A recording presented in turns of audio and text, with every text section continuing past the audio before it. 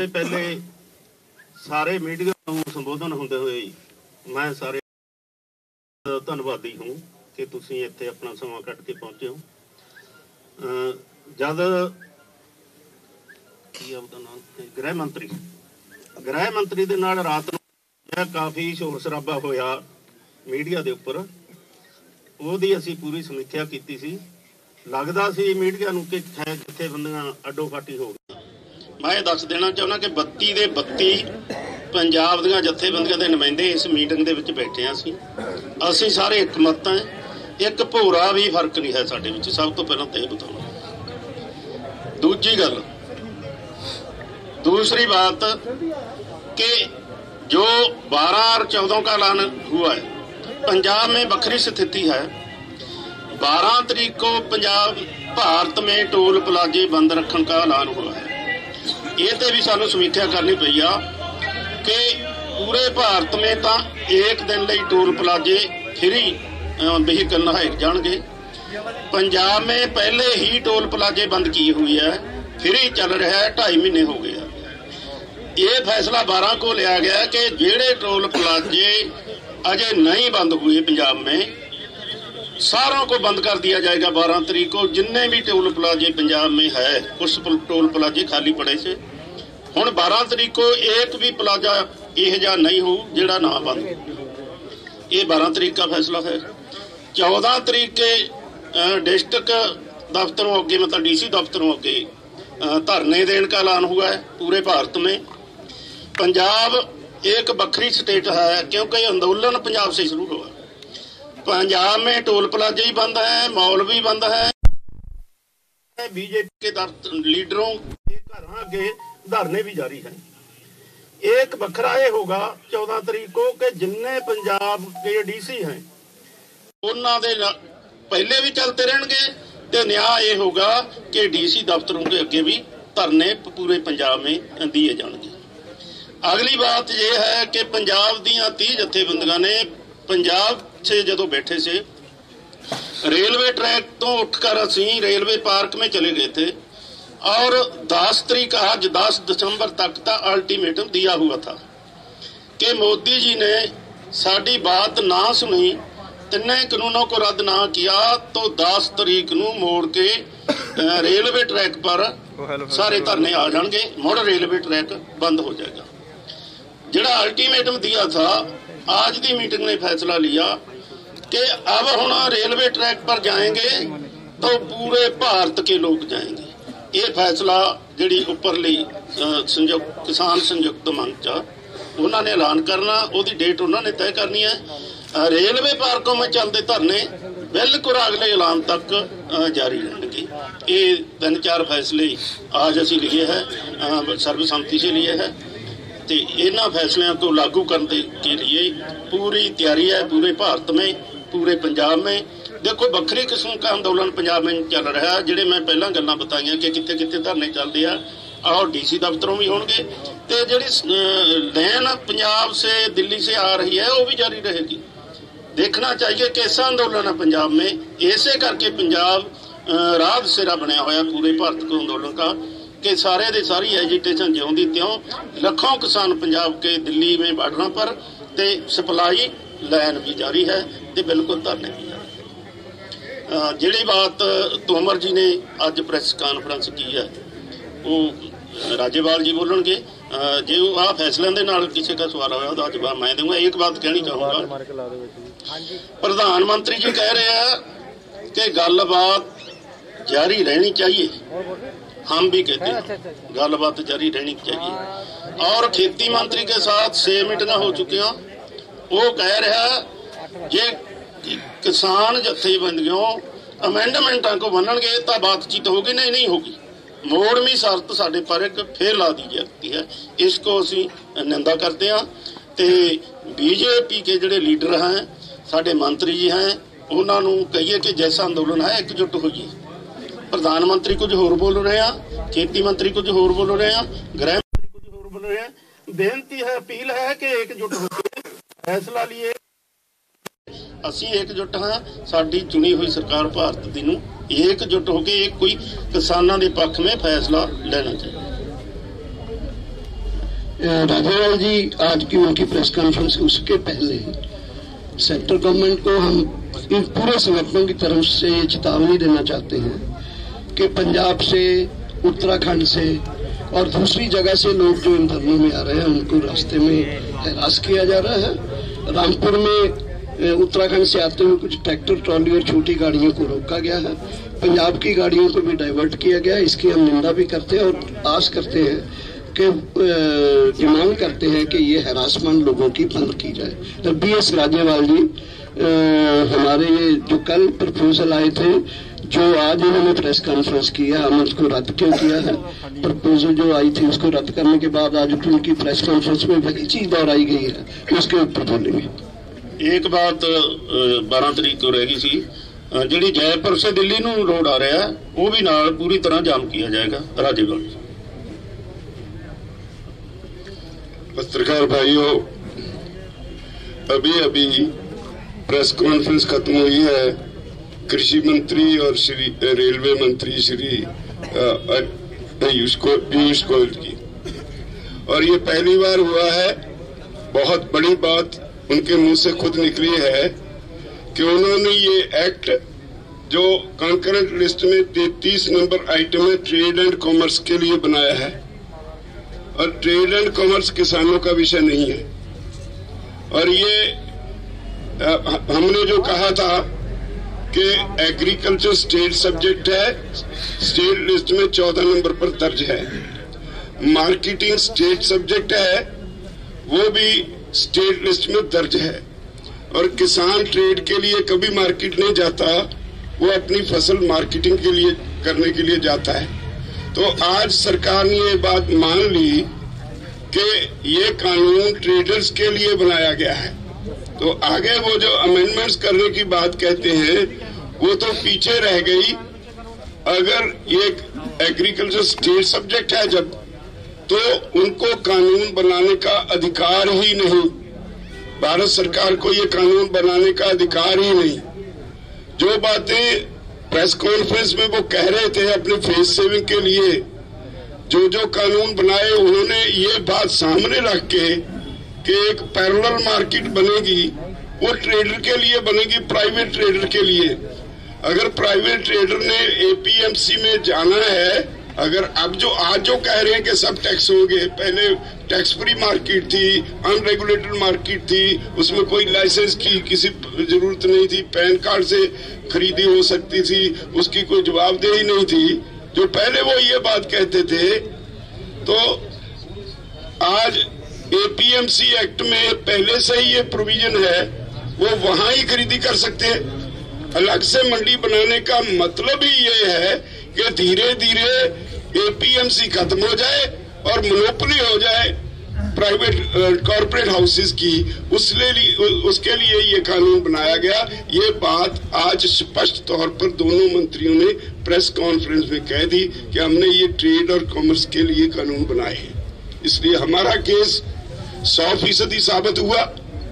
भारत सरकार जानबूझकर किसानों को यहाँ बिठाए बैठी है, वो एक तरफ़ कहते हैं, हम बातचीत के लिए अपील करते हैं। बातचीत उनकी तरफ़ से टूटी है। हमारा सीधा सीधा सवाल है कि agriculture state subject repeal this act बहुत क्लियर बात है तो जो आज उन्होंने मान ली।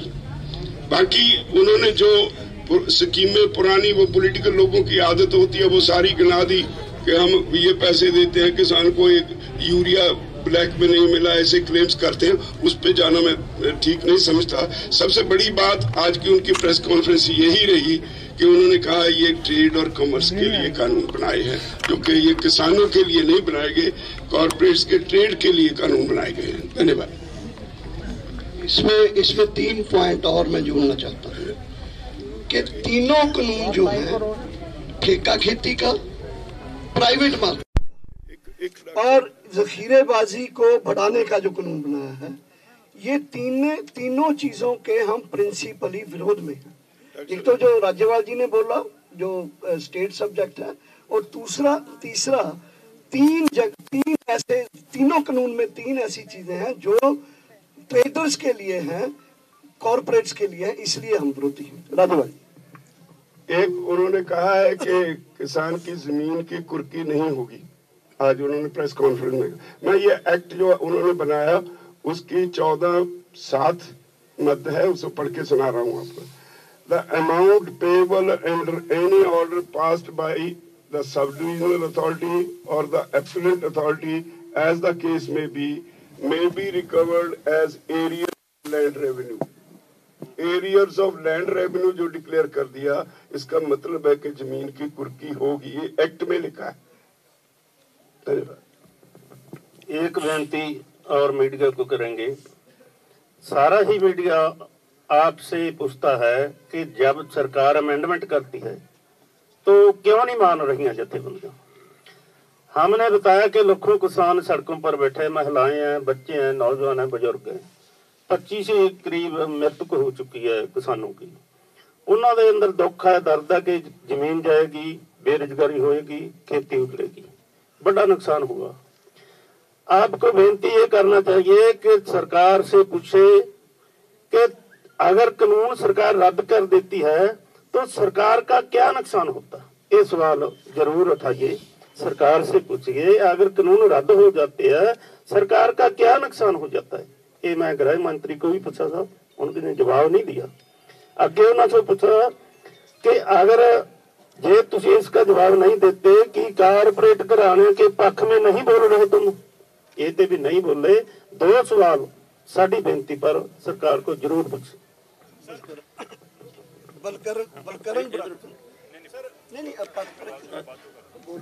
बलकरण बराड़ जी देखो सभी बातें हैं जो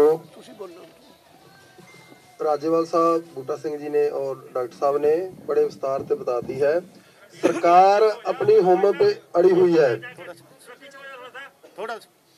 किसान है जो पिछले छह महीने से आंदोलन में है। आंदोलन पूरे देश में जा रहा है। देश से अलावा विदेश में भी आंदोलन चल रहा है। सभी भारतीय भाईचारा और विदेश से दूसरे भाईचारों का लगातार समर्थन मिल रहा है।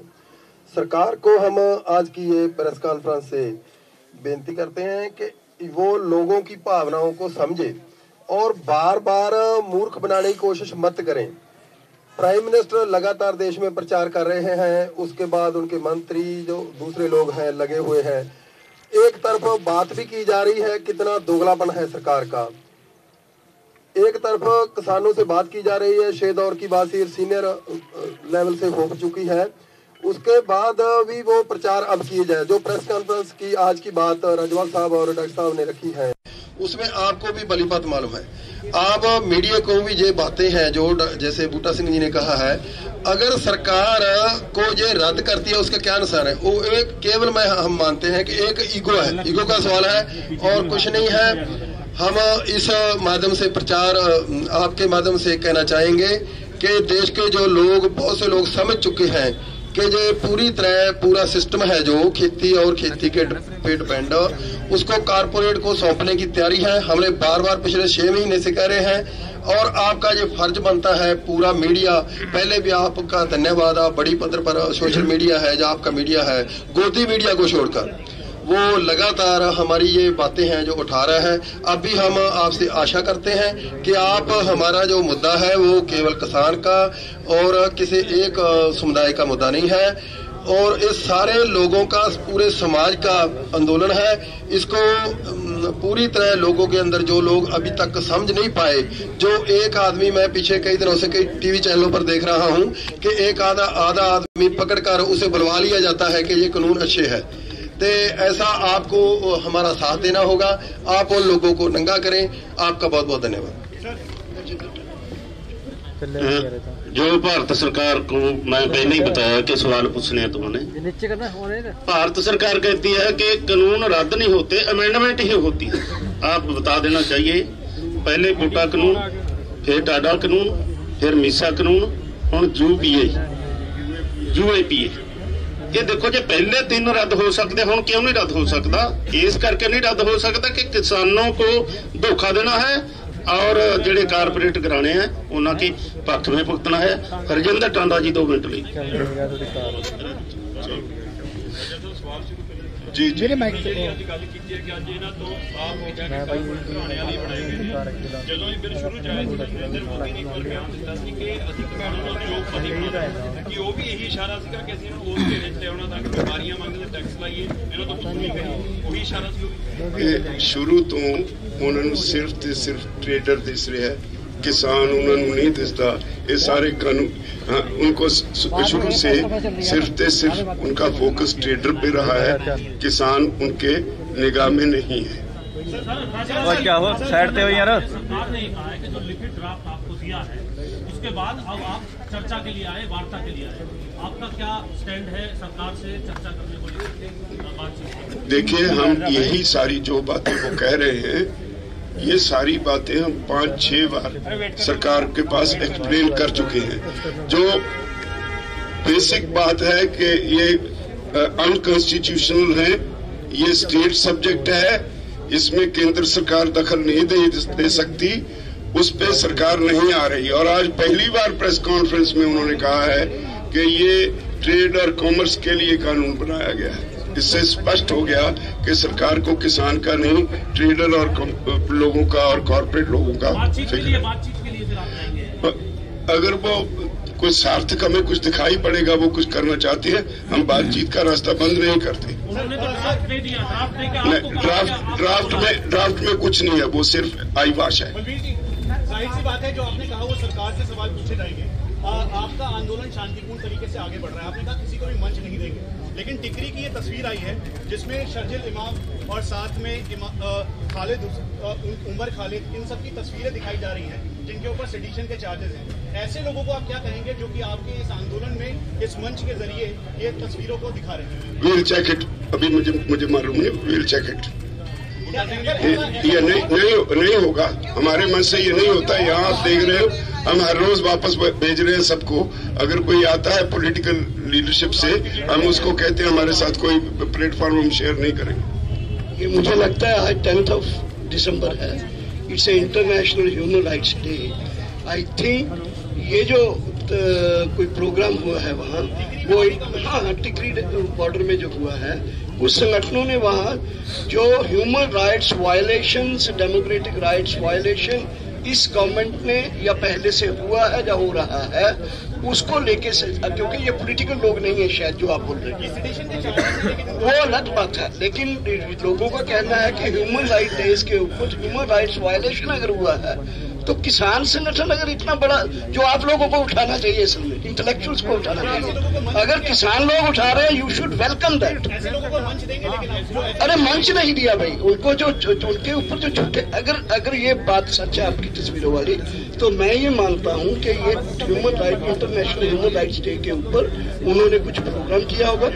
ये ये लोग कौन है, कहाँ है अगर ये सच है तो मुझे लगता है इस पर आपको उस- ये आके मंच पर बोले ये आप ऐसे मत कीजिए नरेंद्र तोमर ने नरेंद्र तोमर ने एक बात और कही है बूटा सिंह जी बूटा सिंह जी ਤੁਸੀਂ ए- एक एक करके ਰੇਲਵੇ ਦੀ ਗੱਲ ਕੀਤੀ ਆਪਾਂ ਪੰਜਾਬ ਦੇ ਵਿੱਚ ਜਿਹੜਾ ਅਲਟੀਮੇਟਮ ਜੋ ਅੱਜ ਖਤਮ ਹੋ ਰਿਹਾ ਕੀ ਅਗਲੀ ਮੀਟਿੰਗ ਜਿਹੜੀ ਦੇਸ਼ ਭਰ ਦੀ ਤਾਲਮੇਲ ਕਮੇਟੀ ਦੀ ਹੋਣੀ ਆ ਉਹਦੇ ਵਿੱਚ ਇਹ ਫੈਸਲਾ ਕਰਾ ਲੈਣ ਦੀ ਤਿਆਰੀ ਹੈ ਕਿ ਦੇਸ਼ ਭਰ ਦੀਆਂ ਰੇਲਾਂ ਜਾਂ देखो अगर सरकार यही रवैया रखती है जब बोलते हैं कि तीखा करेंगे तो फिर फैसला तो हो जाएगा।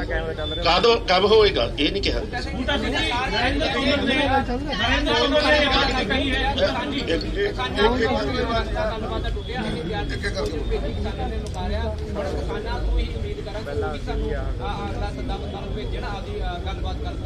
देखो, वो तो पहला ही अड़ियल रवैया था।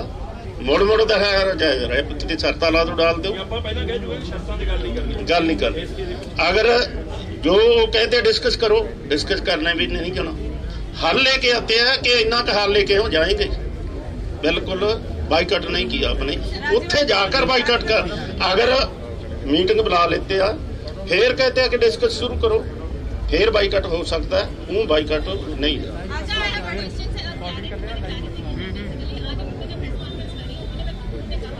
है दिख रही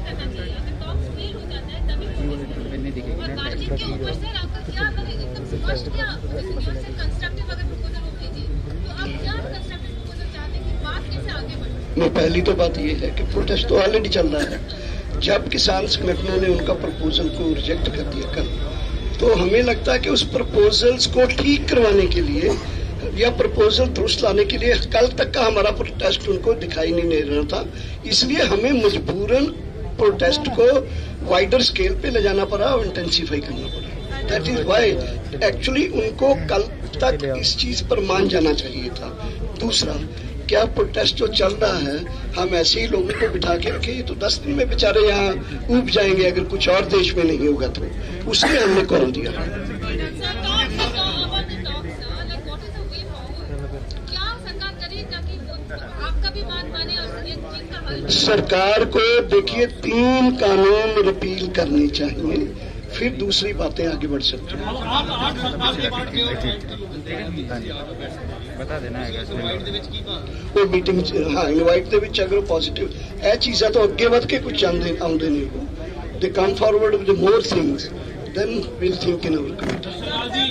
सरकार ने सरकार ने बहुत आपके काले में डाली है, बातचीत आप बातचीत के लिए सरकार से नहीं, उन्होंने नहीं डाली भाई। उन्होंने आज की प्रेस कॉन्फ्रेंस सुन लीजिए उन्होंने यह ही कहा कि हमारे दरवाजे बातचीत के लिए खुले हैं।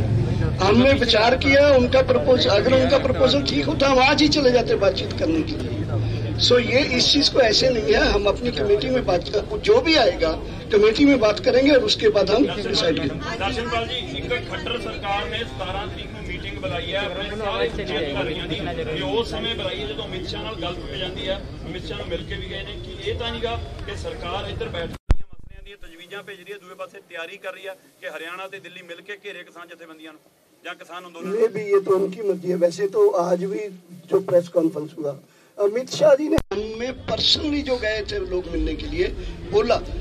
कि हमारा क्रैकडाउन करने का पहले भी इरादा नहीं था आज भी नहीं है आगे भी नहीं लाइट सप्लाई को बंद किया गया दरअसल जी वो सब उनको नोट करवाया गया लाइट का भी पानी का भी सफाई का भी बेसिक कम्युनिटीज का भी दरअसल जी राज्य ਸਿਰਫ ਕੁਝ ਯੂਨੀਅਨਾਂ ਹੀ ਪ੍ਰੋਟੈਸਟ ਕਰ ਰਹੀਆਂ ਨੇ ਤੱਕ ਗੱਲਬਾਤ ਨਹੀਂ ਸ਼ੁਰੂ ਹੋਈ ਹੈ ਸਿਰਫ ਕੁਝ ਕਰ ਰਹੀਆਂ ਨੇ ਬਾਕੀ ਰਹਿ ਲੱਖਾਂ ਦੀ ਤਾਦਾਦ ਚ ਕਿਸਾਨ ਕਿੱਥੋਂ ਆ ਗਏ ਅੱਜ ਐਸੀ ਐਸੀ ਗੱਲ ਐਸੀ ਗੱਲ ਨਹੀਂ ਕਹੀ ਉਹਨਾਂ ਨੇ ਅਪੀਲ ਜ਼ਰੂਰ ਕੀਤੀ ਵੀ ਕਿਸਾਨ ਯੂਨੀਅਨ ਸਾਡੇ ਨਾਲ ਗੱਲਬਾਤ ਕਰਨ।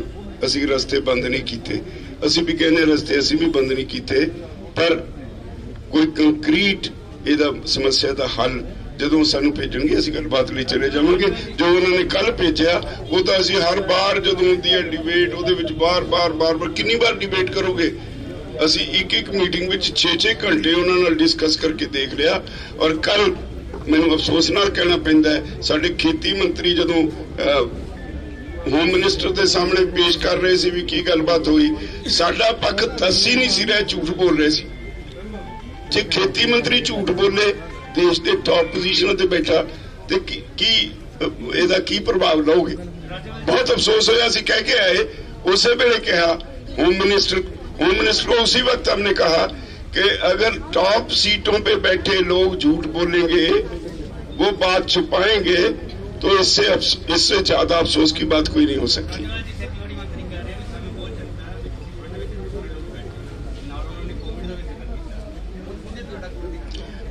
मे- मेरी बात समझिए, जब वो आज खुद मान गए हैं कि हमने ये कानून, ट्रेड और कॉमर्स के लिए बनाया है, इसका मतलब किसानों के लिए तो नहीं बनाया तो एग्रीकल्चर इज स्टेट सब्जेक्ट छोड़ दें हम स्टेट गवर्नमेंट के अ, हाल पे ये रिपील कर दें कानून हम हमें कोई शौक है यहाँ बैठने का हम घर बार छोड़ के पंद्रह दिन से यहाँ बैठे हैं कोई शौक है ਰਾਜੇ ਰਾਜੀ ਪੰਜ ਪੰਜ ਮੀਟਿੰਗਾਂ ਹੋ ਚੁੱਕੀਆਂ ਨੇ ਛੇਵੀਂ ਅਮਿਤ ਸ਼ਾਹ ਨਾਲ ਹੋ ਚੁੱਕੀ ਹੈ ਤੇ ਤੁਸੀਂ ਕਹਿੰਦੇ ਹੋ ਅਸੀਂ ਬਾਰ-ਬਾਰ ਉਹਨੂੰ ਇੱਕੋ ਗੱਲ ਕਹਿ ਰਹੇ ਹਾਂ ਕਿ ਸਾਨੂੰ ਬਿੱਲ ਵਾਪਸ ਚਾਹੀਦੇ ਨੇ ਇੱਕ ਮੀਟਿੰਗ ਦੀ ਪੋਸਟਰ ਵੀ ਦਿਖਾਇਓ ਉਹਨਾਂ ਨੂੰ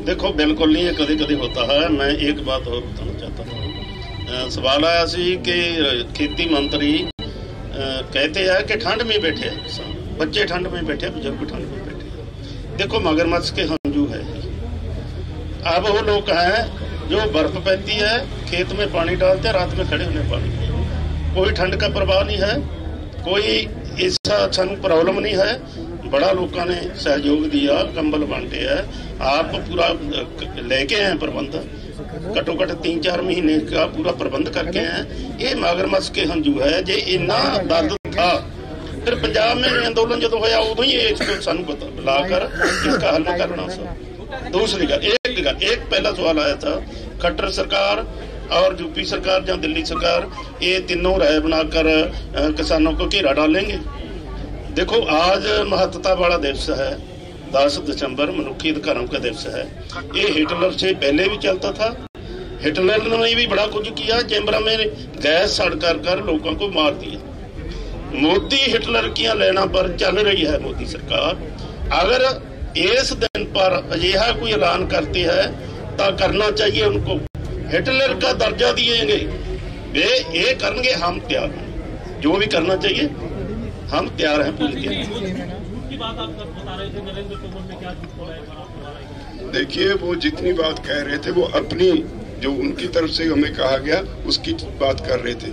जब हमने ये कहा कि ये कानून अनकॉन्स्टिट्यूशनल है, जो डिबेट में हमने एक एक सेक्शन पे ऊपर डिबेट की, वो वो छपा रहे थे।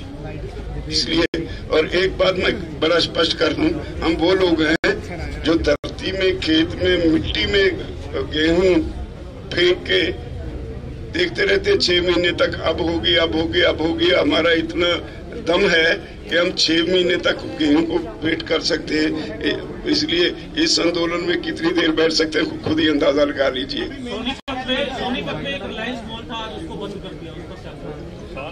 वो पॉलिसी है हमारी जो कहा है वो करेंगे लोग वो तो करेंगे सभी सभी बंद करेंगे। आज दोनों मंत्रियों को बार बार प्रेस ने ये सवाल पूछा।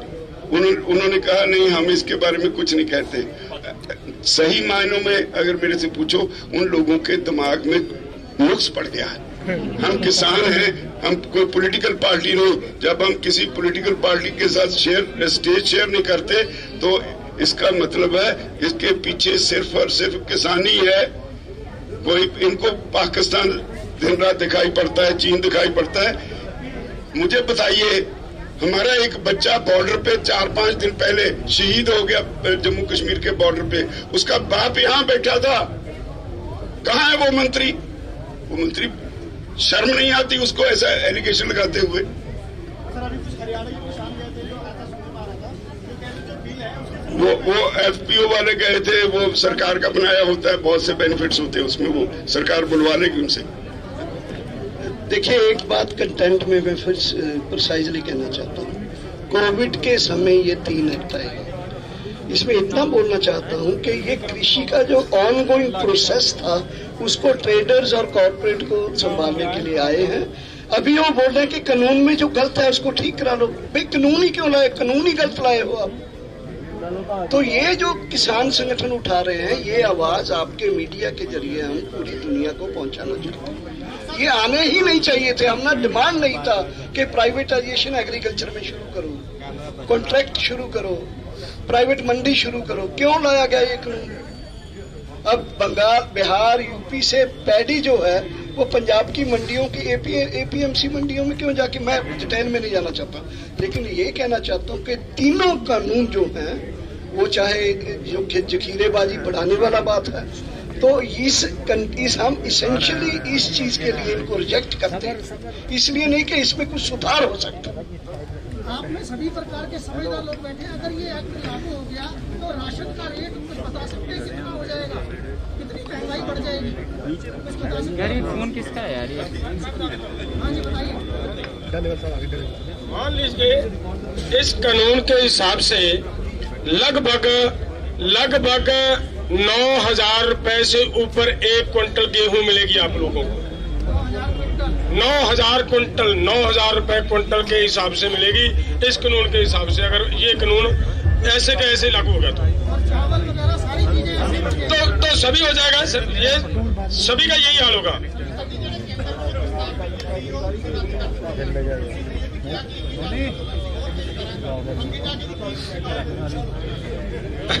ਬਤਾਤ ਦਿਆ। ਸਭ ਕੁਝ ਦੱਸ ਦਿੱਤਾ ਕਿ ਅਸੀਂ 12 ਤਰੀਕ ਨੂੰ ਇਹ ਹੋਣਾ ਹੈ 14 ਤਰੀਕ ਨੂੰ ਡੀਸੀਆਂ ਦੇ ਹੋਣਾ ਸਾਰਾ ਕੁਝ ਦੱਸ ਦਿੱਤਾ ਗਿਆ ਹੈ। ਮੀਡੀਆ ਦਾ ਧੰਨਵਾਦ।